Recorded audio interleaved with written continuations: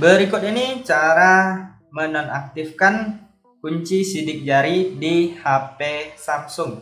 Oke langsung saja teman-teman kita masuk ke tutorialnya. Di sini langsung saja kita masuk ke pengaturan. Lalu selanjutnya silahkan klik di bagian keamanan dan privasi. Nah lalu di sini teman-teman silahkan klik di bagian kunci layar. Lalu pilih di bagian sidik jari.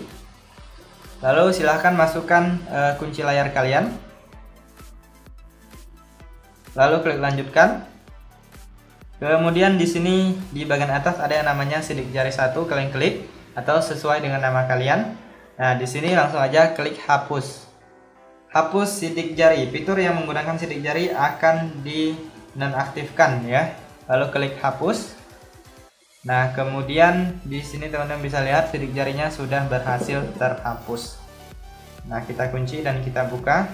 Sekarang sudah tidak menggunakan sidik jari lagi. Oke itu saja teman-teman untuk cara menonaktifkan kunci sidik jari. Semoga bisa bermanfaat dan sampai jumpa di video berikutnya